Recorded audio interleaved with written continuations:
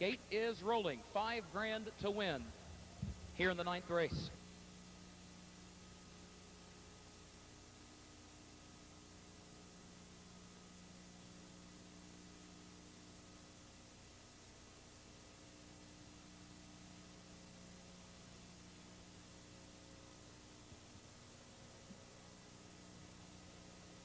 They are off and pacing. There goes Constant Change firing out for the lead. Walter Brown will get away in good order in second. Speedy B skip along down toward the inside. Then King Johnny and Papa Deck right there as they sweep into the first turn and race past the carnival being led by Constant Change who's on top by a length and a half and now against the rail. Walter Brown second. Speedy B skip along is racing in the third position as they go on by the quarter mile mark. Papa Deck is fourth.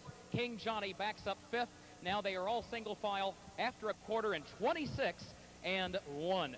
Constant change leads them onto the backstretch by one length. Walter Brown will get a perfect trip in the second position. Gap of two to Speedy B skip along in third. Papa Deck is racing in fourth. King Johnny is fifth and last. He's racing six lengths off the lead at the halfway juncture. So Constant Change, who's been very tough in Chicago this year and very consistent uptown, leads them by the half in 53 and 4. It is constant change, leading it by a length. Walter Brown second by a length and a half. Speedy B Skip Along goes third a length and a half. Papa Deck is fourth, and King Johnny is racing in fifth.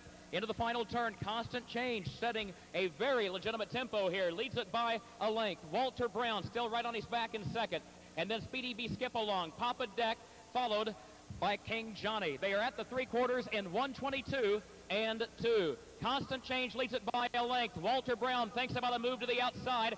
Essig waiting to time it just right. They turn for home. Here comes Walter Brown roaring off the final turn. Constant change will be a handful. Walter Brown's right alongside. Speedy B skip along third. What a horse race. Walter Brown looking constant change in the eye. Walter Brown getting up. Speedy B skip along moves late. Walter Brown wins the State Fair Championship for aged horse and gelding pacers in a time of 1 minute 50 seconds flat. It's close for second, either constant change or Speedy B skip along for place.